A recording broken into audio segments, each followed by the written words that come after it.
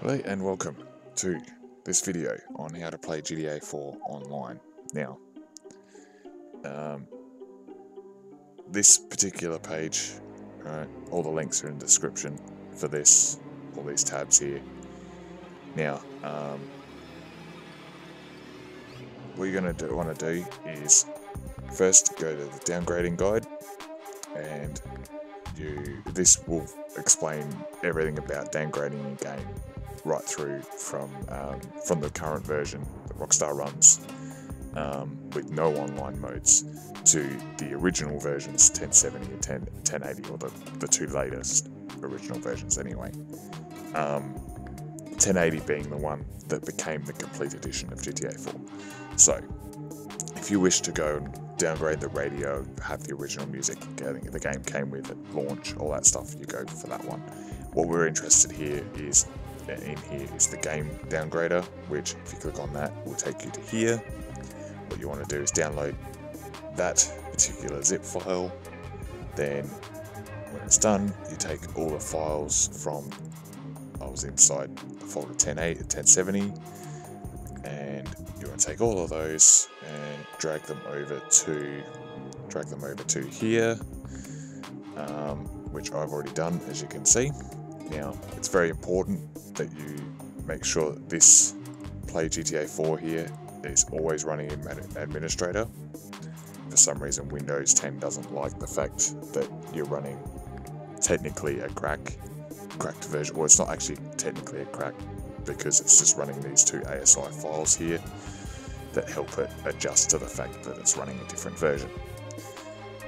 So you, you are not pirating your copy of GTA 4 by doing this, I should point that out. It is still a legit way to, to play, and it will still launch through Steam, but it will not launch through the Rockstar Social Club. Now, we go to the multiplayer in 2021 link, which is also available straight from the downgrade uh, page. So um, go to this and it'll tell you about Citizen IV and GTA Connected. Now today we're going to focus on GTA Connected, which is the one I've used in the past and it seems to work pretty well. So as you can see here, there's even, um, uh, he even recommends, now you can join a server, I prefer Jack Rockstar Games game modes, right? That's the one I've played on, it's the one my videos are on, um, and that's the one I will be showing today. So you click on that link and it'll take you to their website. What you want is GTA Connected 1.1, oh, sorry, 1.3.7. And then once you've downloaded that, you want to look in your start menu for Jack's Mini Network. It's right there. And then when it comes up, you want to go to Tools and Game Settings and you want to make sure you browse for your GTA 4 install. So mine is in Steam Apps, Common, GTA 4. Obviously mine's a Steam copy. Um, it's you know obviously the common place to uh, to install it. You just want to click on that and make sure that that's the one that's opening. And then you go to select your, uh, your game mode, which I've favorited the ones that I usually use. And then you turn around and you go down to the launch here. You click launch, and what it does is launch GTA 4. Now you'll be welcomed with this screen. You don't want to click on episodes from Liberty City. I'm pretty sure you actually can't. It won't let you. Now, if you want to change any of your graphic options or anything, that's when you do it. Is right here. I'm going to switch to my controller because it's quicker. Um, then you just go start. Now, at this usual point, the GTA 4 PC version would shove you into a story mode mission. Would start Roman Bellic's, um, the, the Bellic color, or Cousins Bellic. Um, however, as you can see, right, now, let's put us into what it calls a rendezvous session. Now, this is obviously a rendezvous session. There are other players in this session. Orange, orange markers on the map. So I'll run over there. He's probably going to come kill me. So what you do is you go to your phone and you go multiplayer and you go games, you go create match, and we go free mode, you go start game before he kills me. Right, now in this setting, you've got all these options. You can lock the spawn location to certain areas, so you can have it so that you can only spawn down here, you can spawn down there, you can spawn there, um, or just at the airport. Um, you can also have it as a timed lobby, so it shuts down after a certain certain amount of time. Um, and one of the, the funnest things to do in my experience is to put friendly fire off and then put weapons on rocket launchers only because with the ragdoll physics um, you can quite literally launch yourself and other your other friends around the map uh, that was a very fun thing that Max, uh, Mad Max and I did a few years back on uh, Xbox 360, uh, Xbox One, sorry, uh, backwards compatibility.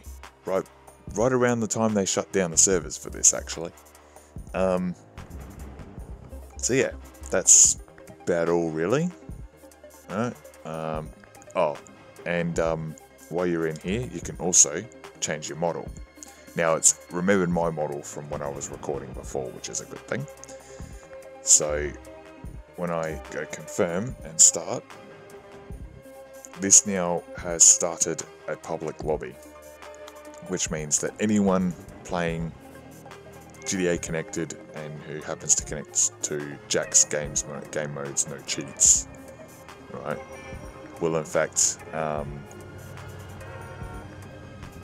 will in fact be able to join this if they just go into their phone, go you know, you know next games or multiplayer games, quick match. You get quick match and then go free mode um, usually you can find the one that's being hosted. So now if I wanted to invite my friends into this, we would go meet up in the rendezvous lobby and then all join the the actual lobby where I was setting everything up. Um, yeah. So that's literally about it, actually. It, it, in fact, it is it to this video. So um, if you have any questions, leave a comment for me. Uh, I'll be sure to try to get back to you, assuming it's not, you know, thousands of comments. But yeah, it's definitely a um, a bit of a welcome change going back to this classic when GTA 5 is such a clusterfuck these days. So not good enough. oh well. Anyway, um, this has been my guide and I've been Razor1640. I'm still am. Um, yeah, thanks for watching. Oh, one last point before I um, end the video about this game. Um, once you're in GTA Connected and in online, because it's not, it's not, it's GTA 4, but it's not GTA 4 as it usually works. You've got to go to game and then leave. That will take you out of the server that you've hosted. Um, and then it'll put you back into the rendezvous lobby. But then from there, you'll have to alt tab your game, as, as I've just done then, and uh, close it down via your task manager. That's the only way to actually close it, unfortunately.